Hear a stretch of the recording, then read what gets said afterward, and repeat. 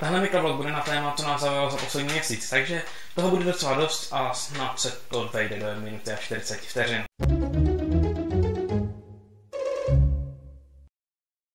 Jako první věc, o které bych chtěl mluvit, jsou knihy, protože tahle věc mě leží na stole už asi měsíc a ještě jsem se toho ani nedotknul. Ale i tak bych vám doporučil nějakou zajímavou knihu, jmenuje se to Machine of Death a je o světě, kde existují stroje, které dokážou říct člověku, jak zemře.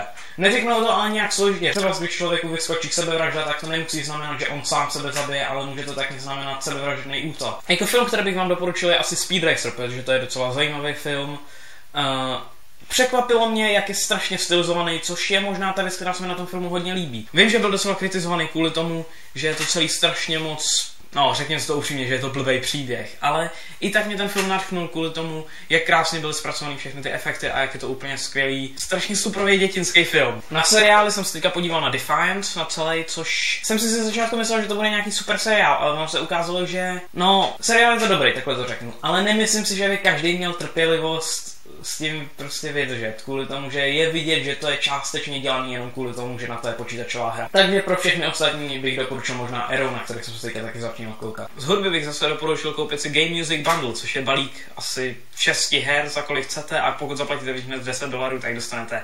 25 alep hudby z her.